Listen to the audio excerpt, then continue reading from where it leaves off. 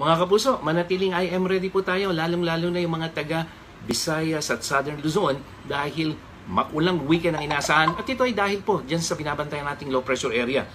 Nasa may uh, west ng Zamboanga City, yung uh, sentro ng LPA, at siya ay nakatawid na ng uh, Mindanao ngayong araw na ito. Papunta po yan ng Palawan at posibleng magtagal dyan ngayong weekend. Kaya mga kapuso ha, malalakas na ulan ang inaasahan bukas araw ng Sabado dyan sa Bicol Region, dyan sa May Maropa at Calabarzon, maging sa buong Visayas. Sa Mindanao na kung saan nakaranas ng mga matitinding pagulan itong mga nakarang araw, eh may mga pagulan pa rin pero sa hapon na lamang yan, mga thunderstorms.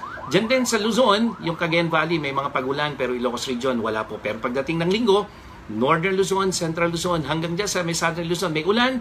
Sa Visayas, pagdating ng hapon, makakaranas sa mga pagulan. At sa Mindanao, thunderstorms din sa hapon.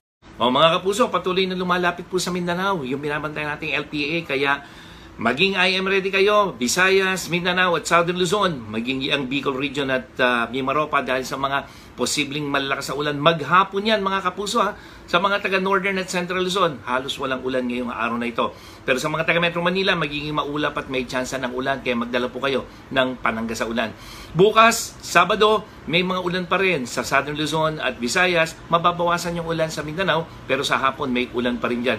Sa linggo mga kapuso, yung mga taga Northern at Central Luzon, eh, maging IM ready kayo. Posible po ang ulan sa inyo na kumisan malalakas Kasama na po ang Visayas at Mindanao pero sa hapon na ang ulan ng mga thunderstorms yan mga kapuso. Manatili po tayo na I am ready kahit papalayo na yung LPA.